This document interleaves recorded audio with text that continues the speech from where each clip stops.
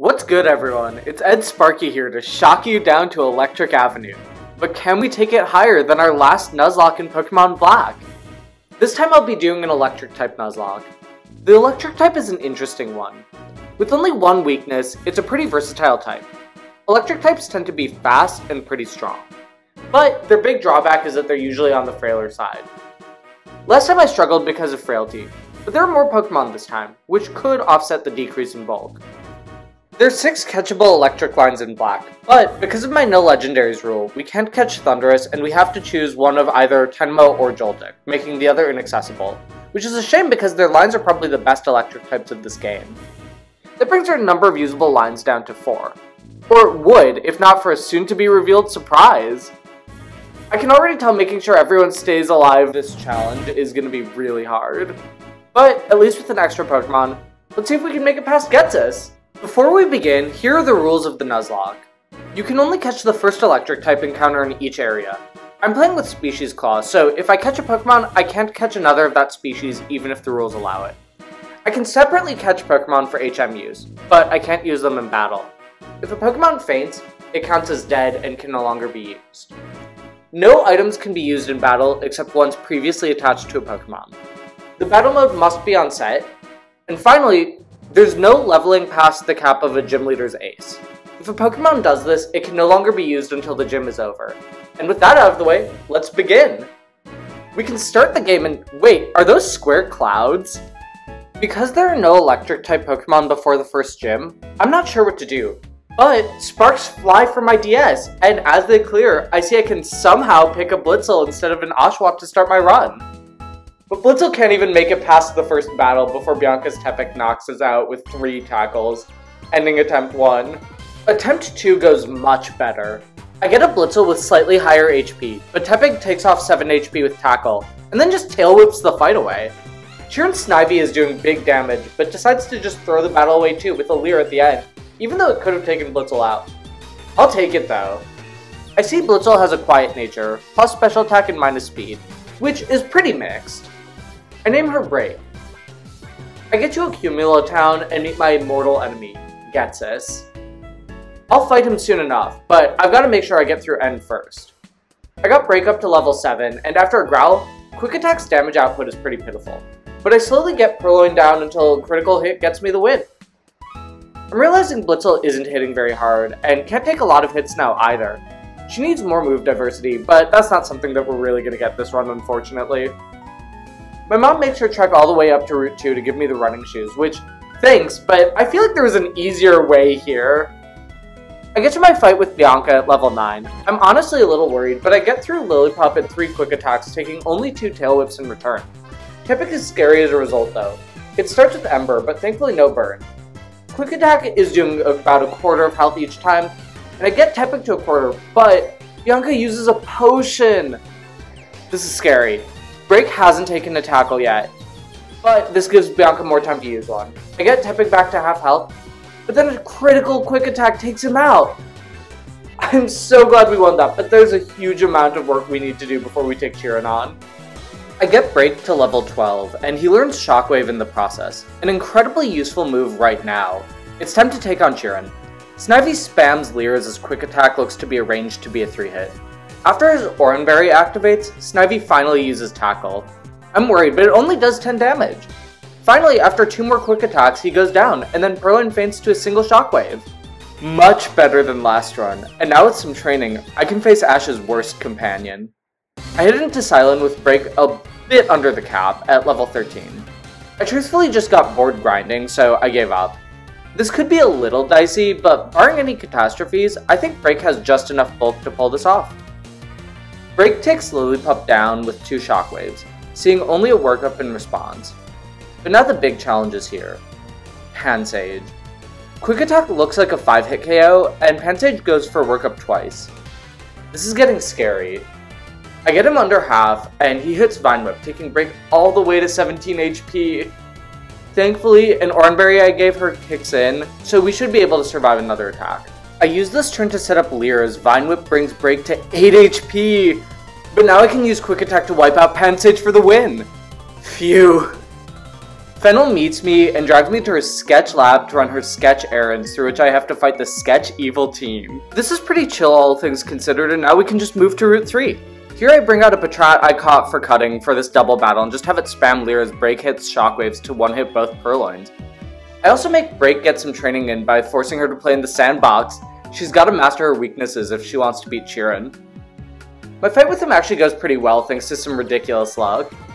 I start by paralyzing his Snivy with a Thunder Wave as he uses Leer. I get a critical hit on Quick Attack, bringing him to half HP and activating his Oran Berry. Vine Whip only does about a quarter, so we've got some room to work. My next Quick Attack also crits, sending him low as he just uses Leer. I guess breaks the crit queen. One more Quick Attack gets rid of Snivy. Purrloin goes down in two shockwaves after a useless sand attack for the win. That was really lucky, wow. Breaks rewarded for her service by being replaced by the Blitzle I catch immediately after. I name her Boogaloo. This is the official starter of the run. Boogaloo has Motor Drive, which is okay, and a Bold Nature, plus defense and minus attack. She has good defensive and special defensive IVs, and pretty much awful everything else except speed. We'll see how she does. The answer is apparently not well. I train her up on Route 2, and she doesn't even last a level before Patrat takes her out. In attempt 3, Break gets a crit on Quick Attack to take the Blitzle we find out, prematurely ending the attempt before it ever really began. But on attempt 4, we catch a Blitzle after a Quick Attack takes him to a third. Boogaloo 2 has a mild nature, which raises special attack and lowers defense. Not bad, though it might make the next few gym leaders rough. But he has incredible IVs, with HP and special attack being great, and only special defense being bad. In Nacrene City, I blatantly lie and tell this woman I have a Tepig so that she'll give me a charcoal. At level 18, Blitzle learns Flame Charge, and having an item that boosts fire moves is going to be really nice when I take on Burgh. But before anything else, I've got to take on N. This N battle is considerably easier for me than in my Rock Nuzlocke. Here Pidove and Tympole are weak to Boogaloo, and Timburr is neutral. Pidove outspeeds with Quick Attack to take off 10 HP before Shockwave KOs. Another takes out Tympole, who N decides is his best option to fight an electric type for some reason, as Boogaloo levels up to 19. Timburr gets taken to the yellow, but just uses Leer as we move on to Lenora. Honestly, Lenora is just brutal, and let's talk about why. In these games, she's always a potential run ender. Herdier and Watchog hit hard for this point in the game, with both having really high attack stats and powerful moves, all it takes is a single Leer for any attack to become a one-hit KO on Boogaloo. Herdier's Intimidate means that I have to rely on Shockwave to win and not Quick Attack or Flame Charge, but Shockwave is only a 3-hit KO. I have to use Thunder Wave and hope for an obscene amount of paralysis luck to make it through. This goes awfully. Herdier knocks Boogaloo out to end attempt 4, but before I reset, I try again a few times to see if this fight is even doable. The best I got was Boogaloo getting knocked out by Watchog after Retaliate. It's definitely possible with Paralysis luck, but the amount of luck it requires is pretty extreme.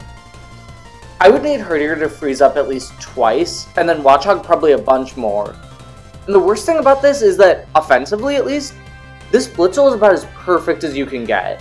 He had perfect special attack and HP IVs, and a nature that boosts his special attack, and it still wasn't close to enough. There's nowhere I can train special attack EVs yet either, so this was the best I could possibly do. On attempt 5, I get a Blitzle with a neutral defense and special attack nature, but great defense IVs. I train Boogaloo up in Wellspring Cave to give lots of defense and speed EVs. I make it all the way to Watchog, getting her down to a quarter, but I'm just not able to do much damage, and I get taken out on Crunch. I decide to try to reset until I get a Blitzle with good enough special attack and defense IVs to have a chance. This takes 18 attempts. I finally get one with near perfect defense and special attack IVs, train her up, and then take on Lenora.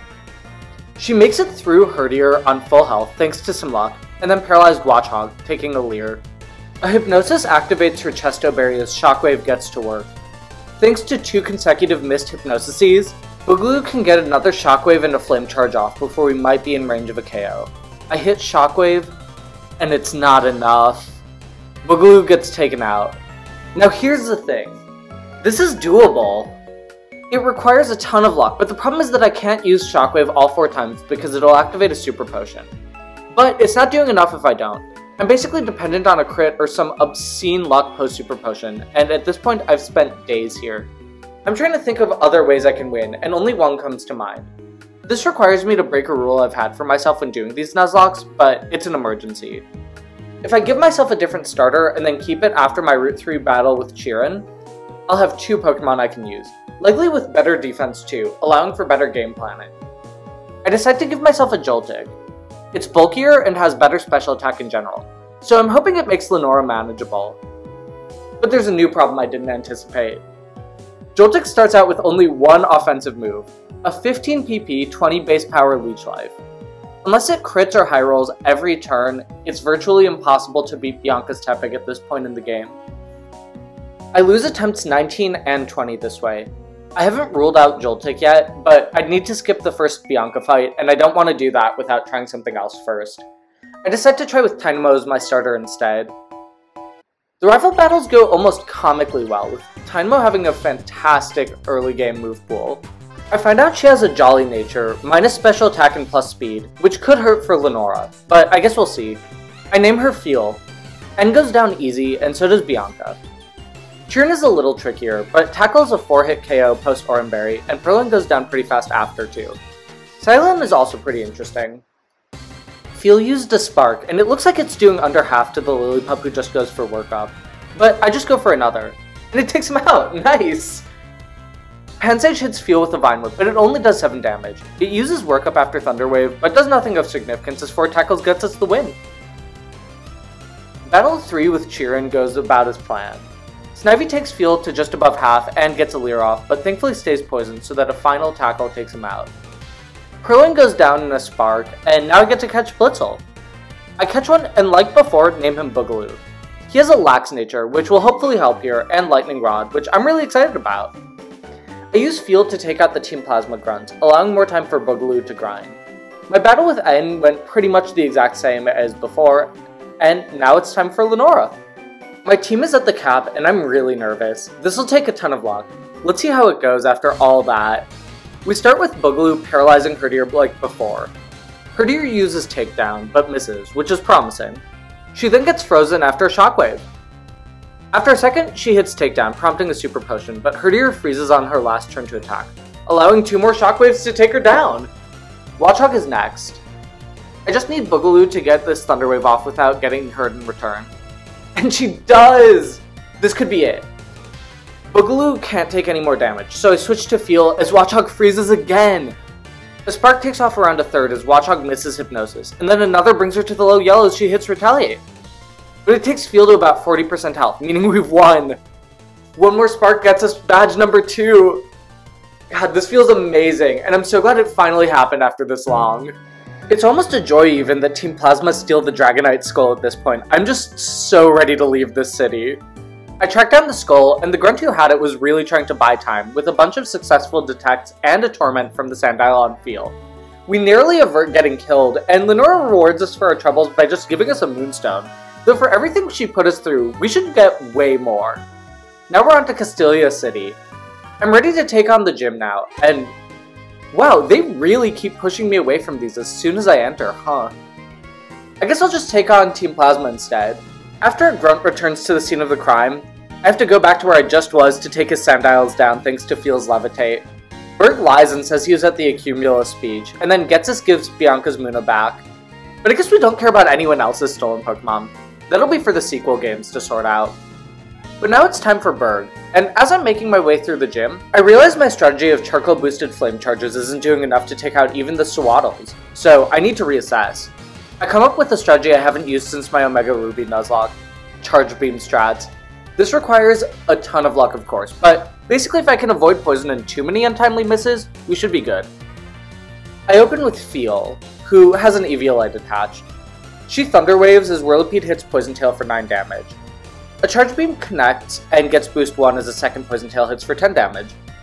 I get a crit on Charge Beam plus Boost 2 to take Whirlipede to the low yellow as he freezes.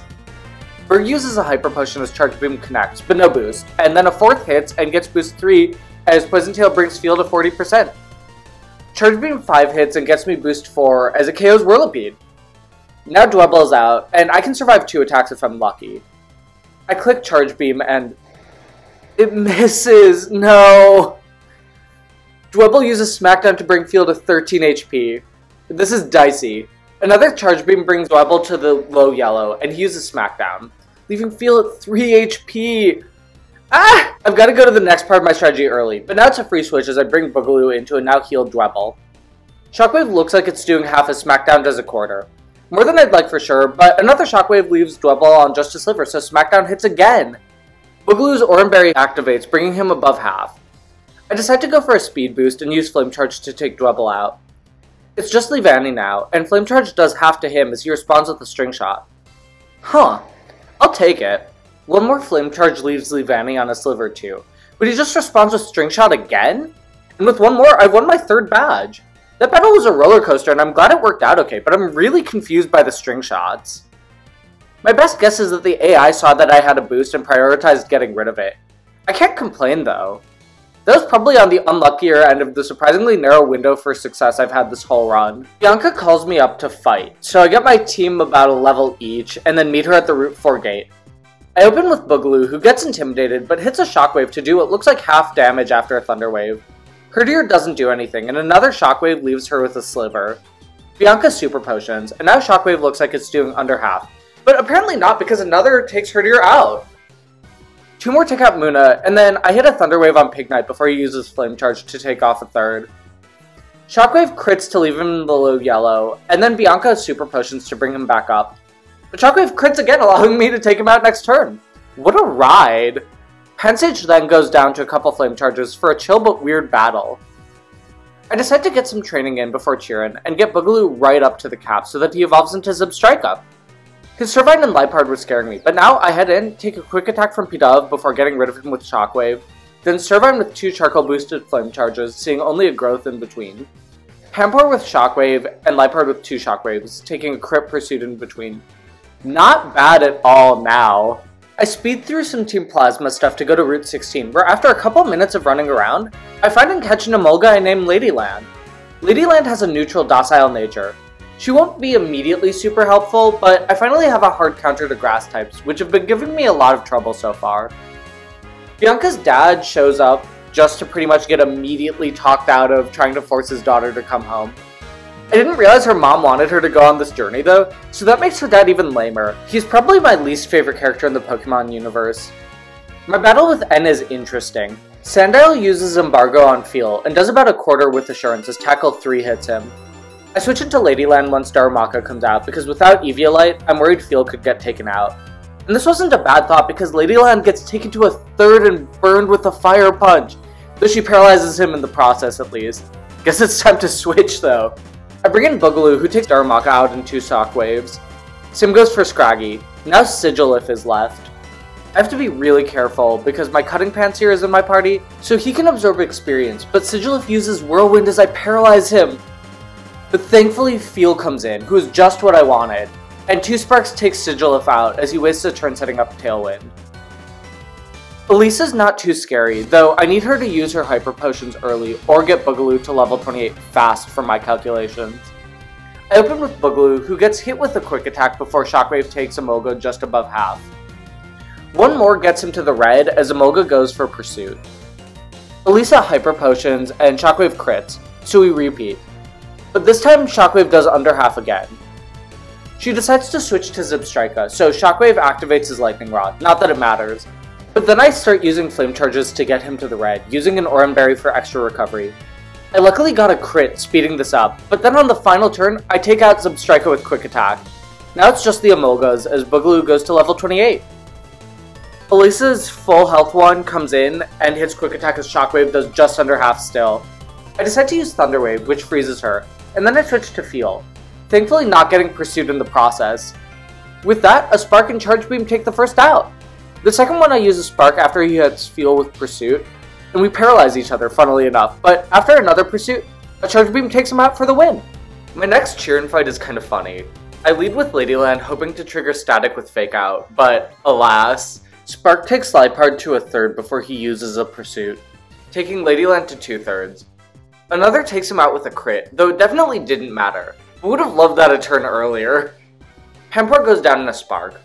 Tranquill outspeeds and hits Quick Attack to bring Ladyland to the yellow before two Sparks take him down.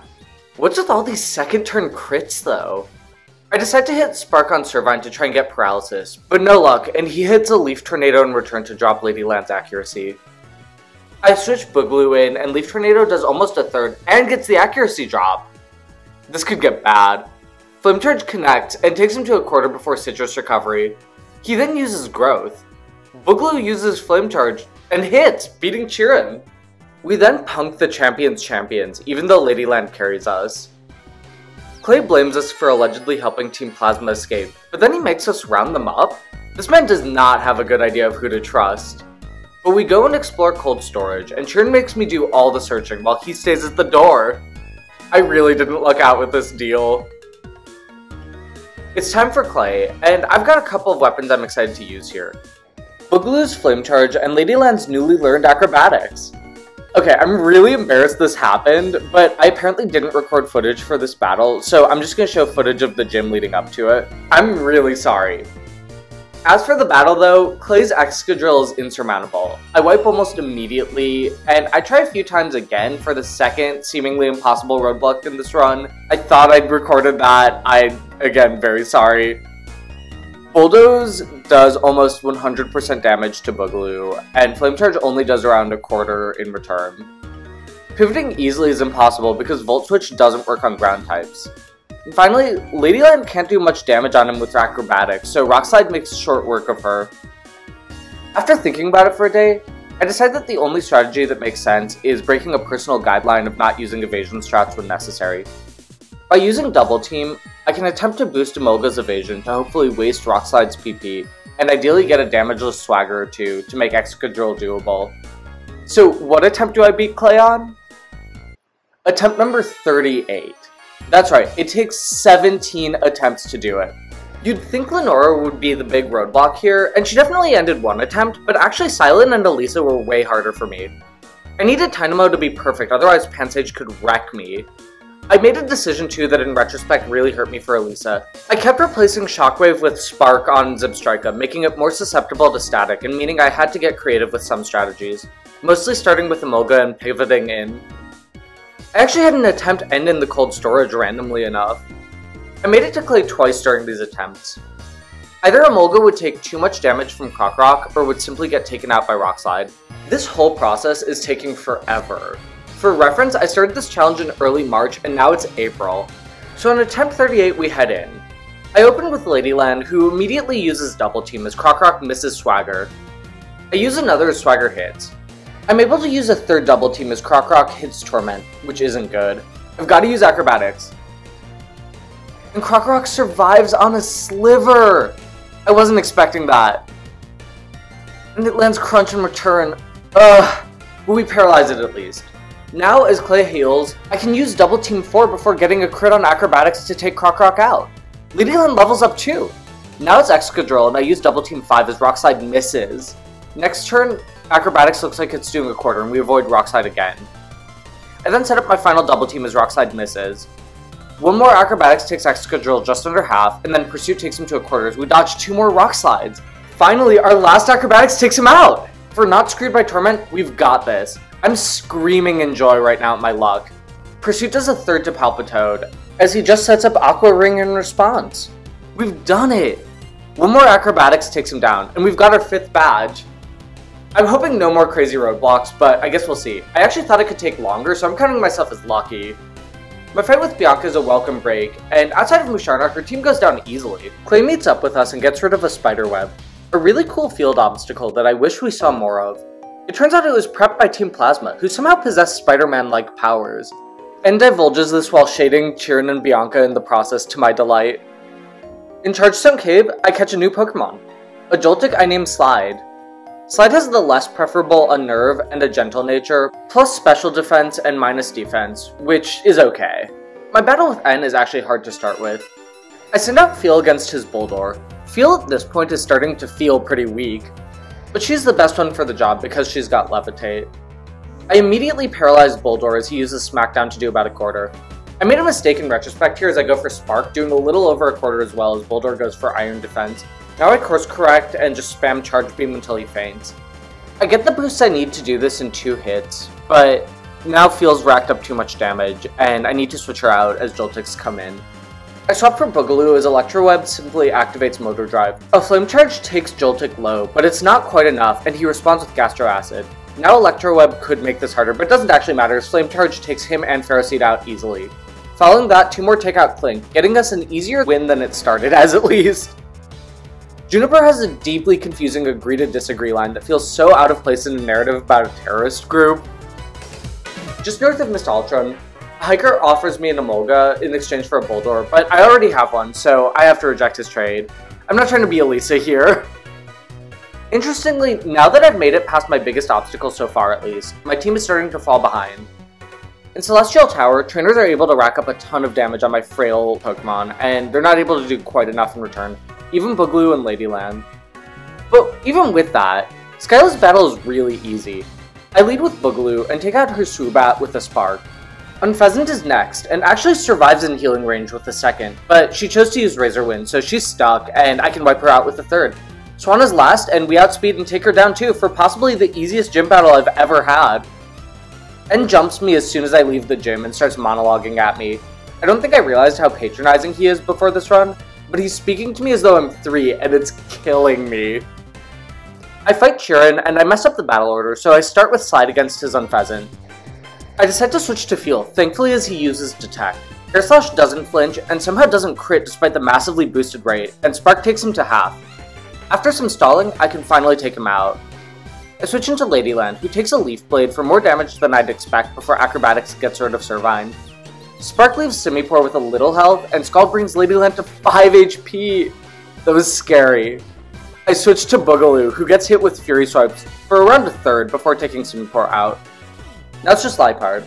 And after a fake out, Discharge paralyzes and hits a Sitrus Berry before he just uses Hone Claws. One more Discharge and I get Surf!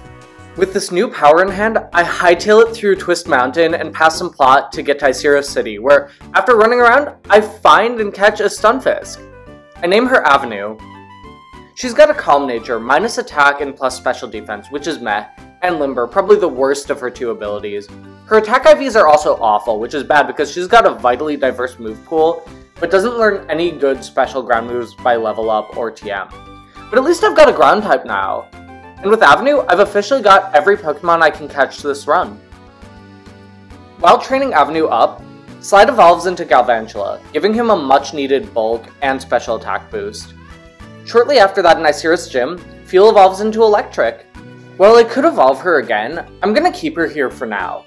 This gym battle's a little weird because Brycen's team has more bulk than you'd expect. My team doesn't match up great, especially with two ice weaknesses now, but I've got something that just might work. I picked up Flash Cannon and Twist Mountain, which I teach Feel. We enter battle, and Vanillish just sets up Acid Armor as Flash Cannon does over half. Nice! Then Feel dodges a Frost Breath and takes Vanillish out. Beartic is next, and I use a Thunder Wave to paralyze him.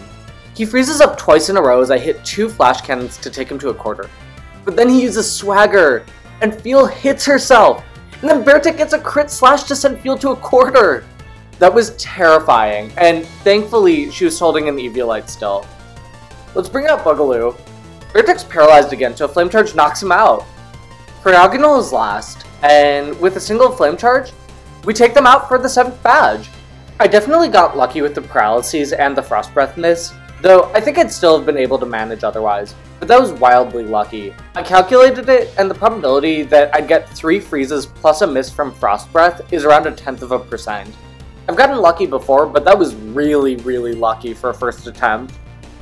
In Dragon Spiral Tower, Team Plasma can't stop reminding me how much my friends are in the general vicinity, even though they're barely doing anything. But I get to the top and see that N's got the ultimate electric type Pokemon. This is an unforgivable attack on our mastery as an electric trainer, and we need to crush him soon. But first we have to go to Relic Castle and figure out whether Team Plasma wants us to get the Light Stone or not. We run into my nemesis. I'll crush him soon, but he kind of just bodies Alder and accepts his fate. My shocking battle skills must get me the Light Stone, because there's really no other reason I can give for why they give me it. But now I've got to face a Bianca fight that I apparently have residual trauma from. She has a fully evolved team that can all hit hard, though thankfully there aren't a lot of super effective moves this time. Because her Stoutland has Intimidate, I go in with Slide.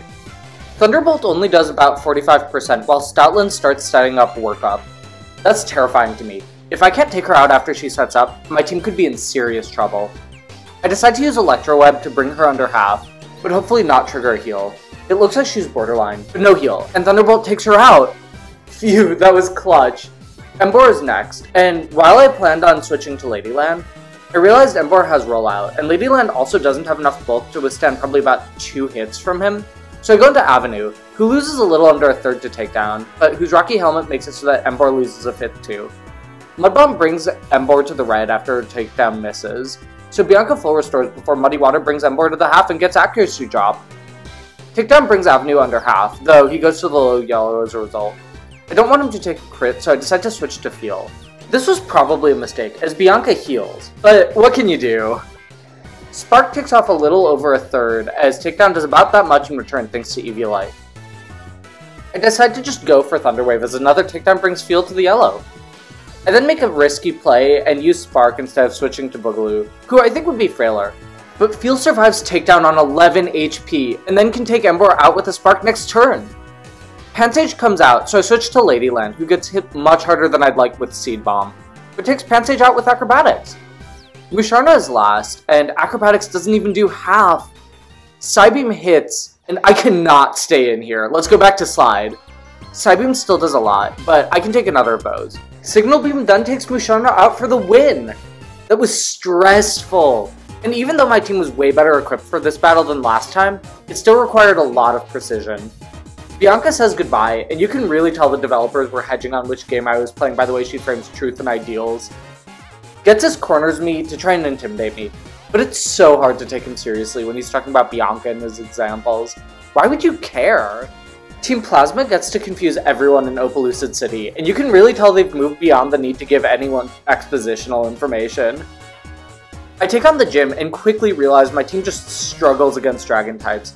I'm trying to figure out anything I can do, but these move pools aren't giving me any great ideas. There is one thing I can do, however. I evolve Feel into Eelektross, making this the final iteration of my team.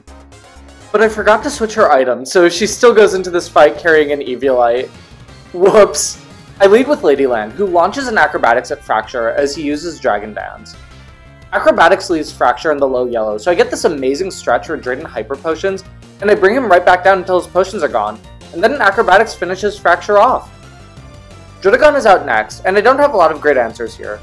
I decide to Volt Switch into Avenue, who immediately gets hit by Dragon Tail and switched out back to Ladyland. Okay, I probably messed up here and go for Acrobatics, which leaves Druddigon in the red. Ugh, and he responds with a Night Slash that thankfully doesn't crit, and activates Static. I decide to go for Volt Switch here, leaving Druddigon on a sliver, and going to Slide for some reason. I can't really figure out why, but he gets hit with Dragon Tail, so hello Feel. Flash Cannon gets the KO as Haxorus comes in. Slash does about a quarter as I use Thunder Wave. I go for Crunch next, which does around 40% as Haxorus uses Dragon Dance. Outside of a crit, I should be fine. But it doesn't even matter because Crunch crits on Haxorus and takes him out. Not bad at all. Professor Juniper meets me outside the gym and gives me a Master Ball. I wonder if Cheren and Bianca got one, but I think the game thinks that I'm inherently more special and worthy anyways because I'm blander than either, at least according to N, which is such a weird way to think about your lead. Cheren challenges me to our final battle. This would ordinarily be scary, but all of his Pokemon are weak to either electric or bug moves, and we coincidentally have an electric slash bug type Pokemon. I lead with Ladyland though, because I don't want to take any chances with a stab neutral flying attack. After Detect, I hit a Spark, taking Unfezant to half and getting the Paralysis as he just goes for Taunt. And then I hit a Volt Switch, taking him out and switching into Slide. Slide immediately takes out Simipour with an Expert Belt boosted Thunderbolt, but then Serperior outspeeds to use Coil.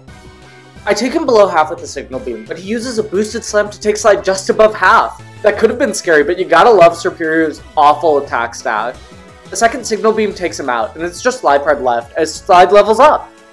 One more Signal Beam gets us the win and puts these awful rivals behind us at last. Cheren starts sputtering some utter nonsense about everyone's truth and ideals, but it just feels too vapid to mean anything. At least we can finally continue. After some training, I make it to the league. We'll see how this goes. My team could either be amazing or horrible, and I have no idea. But I do know that Caitlyn is a perfect matchup for us, so I start with her. I lead Slide against Reuniclus, hit Signal Beam, and she survives in the red! Psychic comes back and hits Slide hard to the yellow. Thankfully, Caitlyn's low enough to heal, so we do this back and forth twice until I can take her out. But it's bad if Slide can't take out her Reuniclus with a stab super effective expert belt boosted move. I probably can't one-shot most of her team then. At least a Thunderbolt gets rid of Sigilyph, but now there's no way Slide can get rid of Musharna without crazy luck. I decide to switch to Avenue, for whom Psychic is a 4-hit KO, and bring Musharna to half with two Thunderbolts before she gets sent to 19 HP and I have to switch.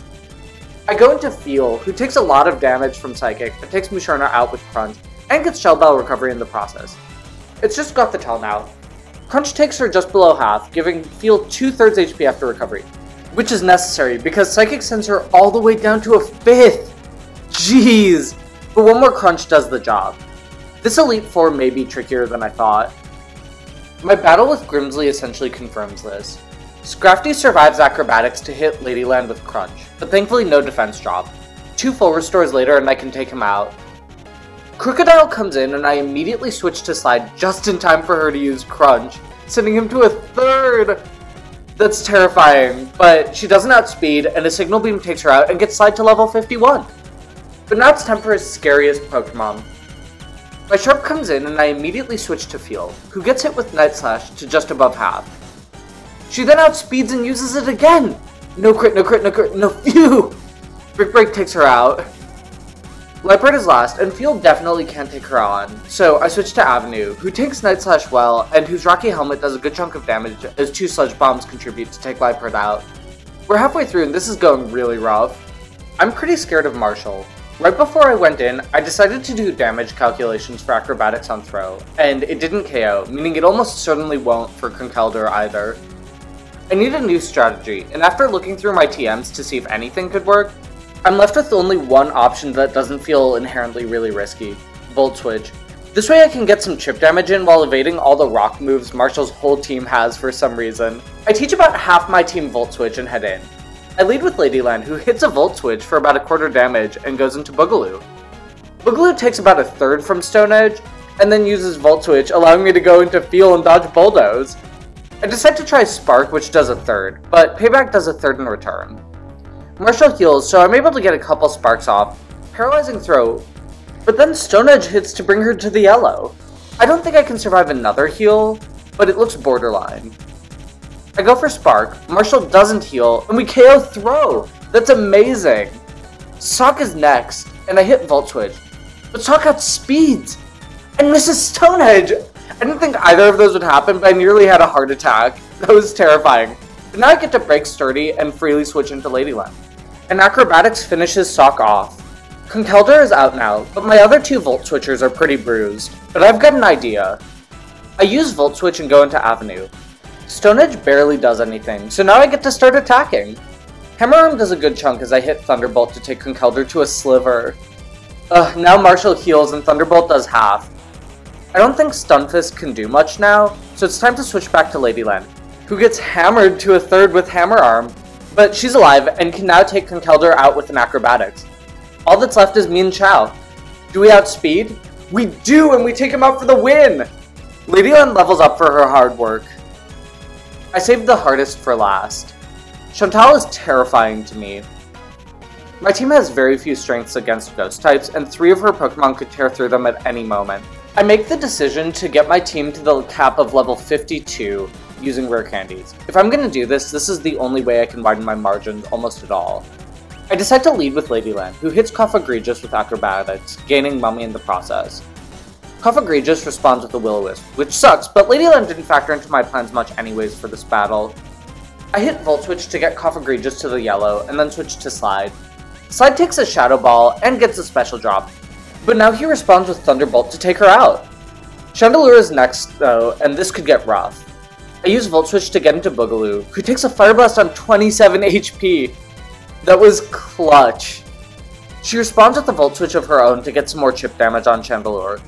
Volt Switch crits, which is bad for me because now Chandelure has more turns to do serious damage. I go into Avenue, who takes a Psychic and gets the drop, which could actually be terrifying. Shauntal heals, and then Avenue uses Surf, which does half. Okay, we can do this. Chandelure uses Fire Blast. No, no, but it misses! Surf takes her out! That was incredible.